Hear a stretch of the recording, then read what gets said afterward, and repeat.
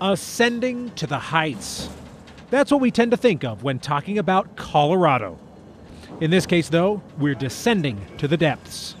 This is a land of extremes, where you can go from some of the highest places in the country to the lowest, and there is adventure everywhere in between. Today, we're starting here at the top, Pikes Peak, the 14,000 foot pinnacle of the southern front range of the Rocky Mountains, where you can look down on the world while, surprisingly, racing to the top of it.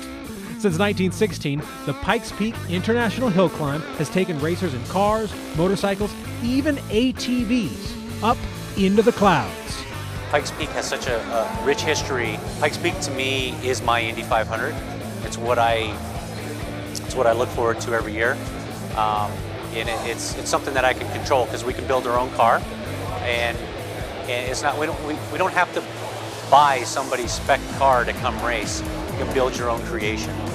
That opportunity to build is one of the aspects of the race that has inspired amateurs to try their hand at scaling the peak. The race is open to everyone, and anyone who is interested can make the climb up this steep grade. Now, you won't find all of your adventure here in the thin air, though. As you descend in elevation from Pikes, you come to the small town of Canyon City.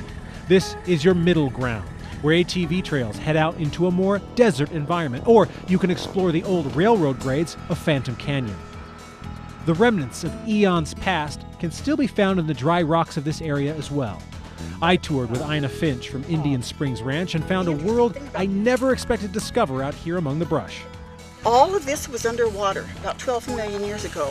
The interesting thing about this is that this is so perfectly preserved, and we've had uh, paleontologists argue why, if this is, how does this look this way? Those squiggles in the rock are the petrified paths of invertebrates and insects. But what scientists can't figure out is how they were preserved in this way. It's a mystery visitors are invited to solve.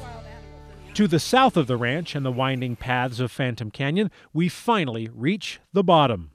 Here, the Arkansas River cuts through the rock and forms the Royal Gorge. Now, an amusement park of sorts has sprung up here, complete with what until recently was the highest suspension bridge in the world. The bridge was built in about six months and uh, by about 80 men with wow. uh, no fatalities, no serious injuries. The bridge platform is actually 996 feet above the Arkansas. Right now we're about 1,178 feet above the Arkansas River on uh, the one of the attractions here in the in the park, which is the aerial tram. We, we have over you know 21 ride shows and attractions in the park, uh, uh, including this aerial tram, an incline railway which takes you 1,550 feet down to the bottom of the gorge uh, at a 45 degree angle, which is a tremendous ride.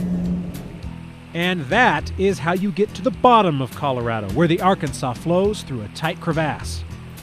Colorado is a land of adventure and extremes. And whether you're starting at the top in a race car or heading to the bottom by railroad, you're going to find a spring thaw that is unlike anything else in the West.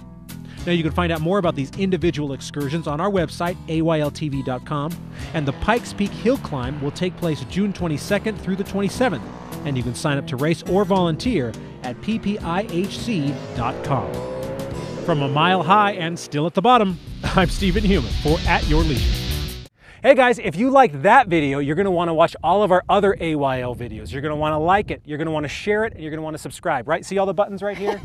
this is what you're gonna wanna do, click, right? Click, click. Click on them, because we have some really cool videos, all kinds of behind the scenes stuff, bloopers of Alicia crashing and stuff. Why are you gonna sell me out like that, Stephen? So you wanna click all of these things and subscribe to our channel because At Your Leisure is awesome, and uh, we'll see you here for more videos.